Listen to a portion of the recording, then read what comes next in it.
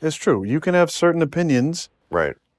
and and not make it, like agreeing, you know, voting for Trump. But, Right. And I you can. But I think there's a lot of people that that believe that you should have your own decision making on your own medical decisions. I My thing is, I- I have a I have an issue with the hypocrisy in society in general. I know you do as well, but abortion's been a hot topic, right? And especially after Roe v. Wade got overturned and sent back to the states or whatever, I don't believe the government should have any control over what we do with our bodies. no. So as much as I might be lean more pro life, I don't I don't want the government telling me I can't smoke a cigar, I can't have a drink of alcohol, I can't choose my own medical decisions. And if I'm a woman, don't fucking tell me what to do. Like whether or not I agree with what you decide to do, who cares? And the government should not have a decision that that infringes upon my own personal freedoms. I agree with all that. My thing is, but just don't say to the pro life people, you're doing it because you hate women, because that's what I hear all the time. You're doing it because you hate women. They don't hate women, they just think it's murder. Mhm. And I get that. I personally don't, because I personally don't think life is always precious. I don't think people who are alive now necessarily are living a life that's precious. If you picture some guy who's on death row and he's committed horrendous crimes, grisly crimes, murdered his family, axe murdering children.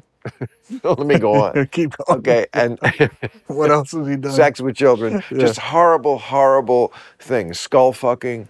Okay, so Jeez. now this guy's on death row, Yeah. right? And he's in solitary and he'll never get out.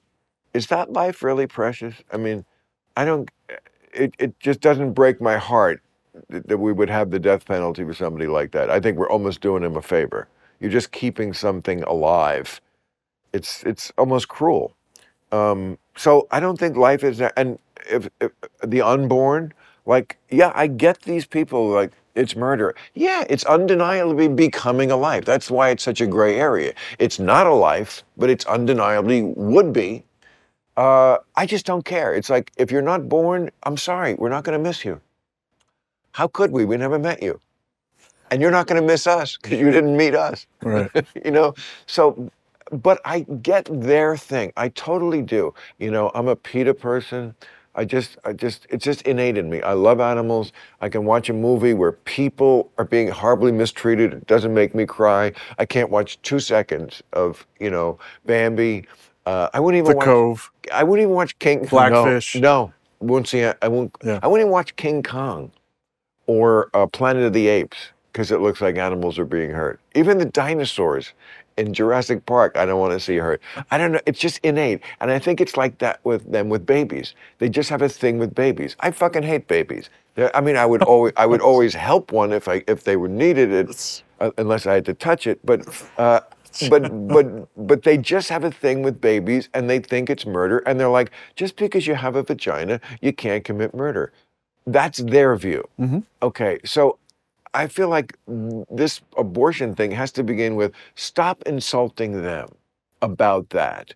Just accept this difference. I know people who are i'm very friendly with and i know we are on the opposite sides on abortion. We just don't talk about it. I'm not going to convince you you're not going to convince me and we're not going to have a baby together. So you know, we don't really need to dis- we don't need to fucking discuss it you know? Not better than this. i appreciate that. Thanks, buddy.